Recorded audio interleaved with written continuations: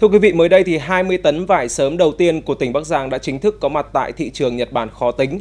Tại Nhật, vải thiều sớm Bắc Giang được bán với giá là 340.000 đồng một kg, được người tiêu dùng Nhật Bản đánh giá cao về độ tươi ngon và mẫu mã đẹp. Những tín hiệu vui này đang mở ra những cơ hội xuất khẩu mới cho trái vải thiều Bắc Giang trong niên vụ này. 5 tấn vải này ở xã Phúc Hòa, huyện Tân Yên, tỉnh Bắc Giang, được một doanh nghiệp bao tiêu xuân sang thị trường Nhật Bản. Số vải sớm này được doanh nghiệp thu mua với giá 55.000 đồng một kg, cao gấp 2 lần so với vải sớm tiêu thụ tại thị trường nội địa. Tôi thì cũng đang à, cũng cố gắng là duy trì để theo làm sao cho nó là hiệu quả tốt nhất và sử dụng à, những cái chế phẩm để đạt được những cái sản phẩm tốt cho thị trường. Tại Bắc Giang, hiện có 30 mã vùng vải sớm với 200 ha, đủ điều kiện xuất khẩu sang Nhật Bản. Sản lượng xuất khẩu ước khoảng 1.800 tấn. Tại những vùng vải này, nông dân áp dụng sản xuất theo quy trình Global Gap, tuân thủ nghiêm ngặt các biện pháp phòng trừ sâu bệnh, dịch hại dưới sự giám sát chặt chẽ của cơ quan chuyên môn. Các khâu thu hái, sơ chế, sông hơi khử trùng đều được giám sát chặt chẽ. Thị trường của Nhật Bản đòi hỏi một cái yêu cầu khắt khe và chất lượng như vậy, đòi hỏi một cái chữ tâm và chữ tín trong kinh doanh một cách cao như vậy, thì tất cả các thị trường khác sẽ được khơi thông khi mà thị trường Nhật Bản đón nhận và tin dùng đối với trái vải thiều sớm của Tân Yên ngày hôm nay. Có thể nói là chúng ta có thể khai thác được một cái tiềm năng của khu vực dân số là đến 120 triệu dân của người Nhật Bản. Thì hiện nay chúng tôi đang rất là rốt ráo cùng với các thương vụ ờ, của chúng tôi cũng như là chi nhánh thương vụ tại ờ, Nhật Bản để làm sao có thể đẩy mạnh cái quả vải thiều này. Những trái vải sớm mang thương hiệu Bắc Giang bắt đầu được bán tại hệ thống siêu thị của Nhật Bản từ hôm qua ngày 28 tháng 5 với giá niêm yết 1.650 yên 1 kg, tương đương khoảng 340.000 đồng 1 kg. Sau thành công tại thị trường Nhật Bản này, dự kiến trong vụ vải sớm năm 2022, Bắc Giang sẽ tiếp tục tiếp cận với các thị trường tiềm năng khác như Mỹ, Nga, Hàn Quốc, Canada, Thái Lan, Singapore. Vâng thưa quý vị, có thể thấy dù diễn biến dịch bệnh vẫn diễn ra phức tạp nhưng mà vải thiều Bắc Giang đang được tiêu thụ khá là thuận lợi. Tuy nhiên hiện nay thì có một số người vì nhiều lý do đứng ra tổ chức các chương trình giải cứu vải thiều Bắc Giang. Quan điểm của địa phương này về các chương trình giải cứu này ra sao? Ngay bây giờ thì chúng tôi sẽ kết nối với ông Trần Quang Tấn, Giám đốc Sở Công Thương Bắc Giang để tìm hiểu về vấn đề này. Vâng, xin chào ông ạ. Vâng thưa ông, trên mạng xã hội xuất hiện nhiều điểm bán hàng với danh nghĩa là giải cứu vải thiều Bắc Giang. Thực tế thì vải thiều Bắc Giang đã đến mức cần được giải cứu hay chưa? Đến ngày hôm nay thì à, vải thiều của Bắc Giang đã tiêu thụ là trên 13.000 tấn. Giá phổ thông thì vẫn được dao động là từ 18 cho đến 25.000. Vải thiều của tỉnh Bắc Giang chưa đến mức phải giải cứu và đang được tiêu thụ, được bạn bè trong và ngoài nước đánh giá rất cao về chất lượng và đang tiêu thụ rất tốt cho cái đầu của vụ này.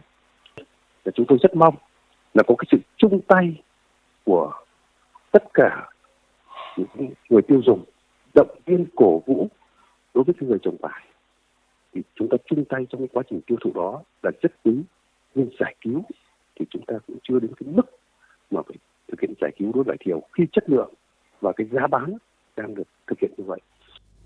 Vâng, hiện nay thì theo quan điểm của ông, nếu cứ dân mạng hô hào giải cứu không có kế hoạch như hiện nay thì sẽ có ảnh hưởng như thế nào đến giá cả và việc tiêu thụ thực tế của vải thiều ạ?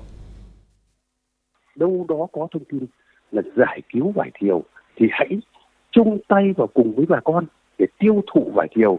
Hơn là đưa những cái thông tin nó không đúng với cái thời điểm hiện tại như vậy thì nó sẽ ảnh hưởng đến giá cả, cũng như là cái phẩm cấp, cái chất lượng của vải thiều của tỉnh Bắc Giang. Chúng ta hãy chung tay cho động viên bà con một lắng hai xương bà con tiêu thụ cái vải thiều nó được thuận lợi hơn.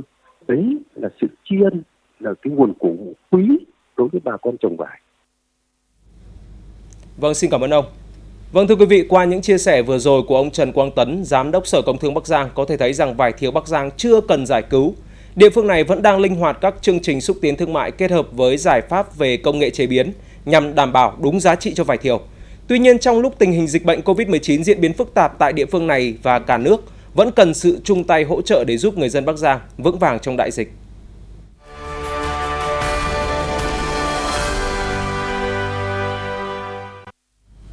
Xin được chuyển sang những thông tin đáng chú ý khác trong tiểu mục Chuyện làng chuyện nước.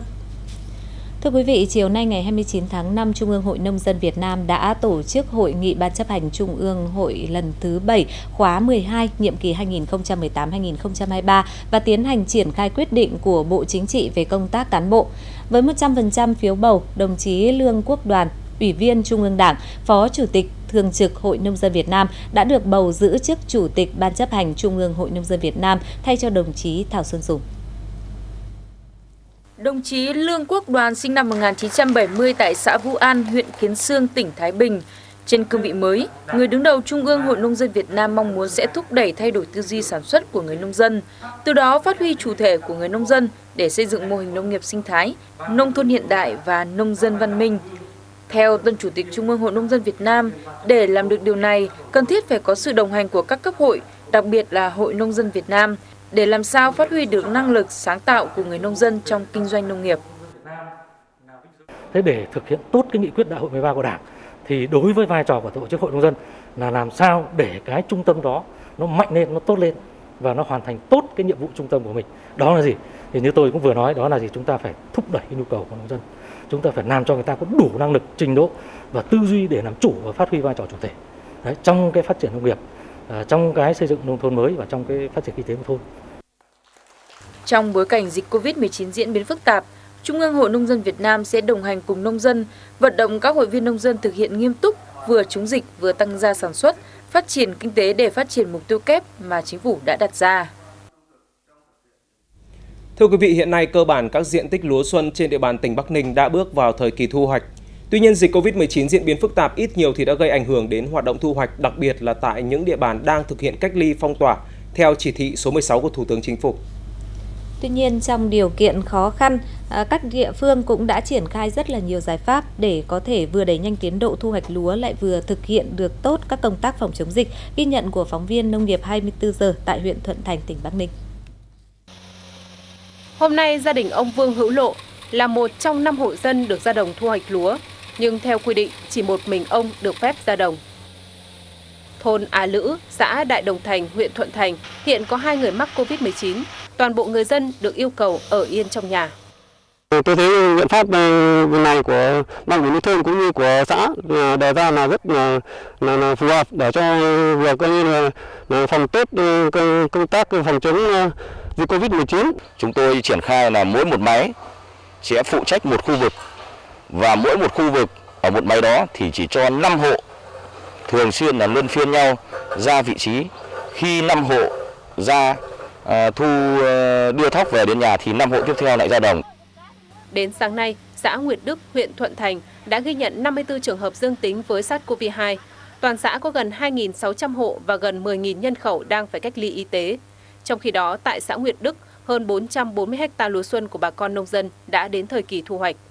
Thu hoạch lúa cho nhân dân nếu rơi vào các cái hộ mà là F1 và F0 thì chúng tôi sẽ có đội tình nguyện của thôn nào thôn đó gồm có các ờ, hội viên của hội nông dân phụ nữ đoàn thanh niên sẽ đi thu hoạch giúp cho các cái hộ này về đến ờ, cổng và các hộ sẽ có trách nhiệm là đưa thóc của mình về để phơi. Vụ lúa xuân năm nay, huyện Thuận Thành gieo cấy hơn 4.600 ha lúa, chủ yếu là các giống năng suất chất lượng cao. Trước tình hình dịch bệnh COVID-19 phức tạp, ngay từ đầu tháng 5, huyện Thuận Thành đã xây dựng các kịch bản nhằm kịp thời ứng phó với các tình huống có thể xảy ra. Thì huyện cũng đã có cái ờ, hướng dẫn đến các xã để ờ, thực hiện cái nhiệm vụ ờ, thu hoạch lúa xuân nhanh gọn. Và trong đó là đề nghị các xã là xác định, kiểm tra và xác định rõ những cái cái thời gian thu hoạch đến từng xứ đồng, đến từng thửa để ờ, thông tin cho người dân ra đồng để thu hoạch tránh cái việc tập trung đông người. Huyện Thuận Thành cũng chỉ đạo các xã, thị trấn hướng dẫn nông dân thu hoạch lúa nhanh gọn theo phương châm xanh nhà hơn già đồng, đồng thời chỉ đạo các chốt kiểm soát dịch COVID-19 tạo điều kiện cho các phương tiện vận chuyển nông sản, máy gặt đập liên hợp đi qua để thu hoạch lúa xuân.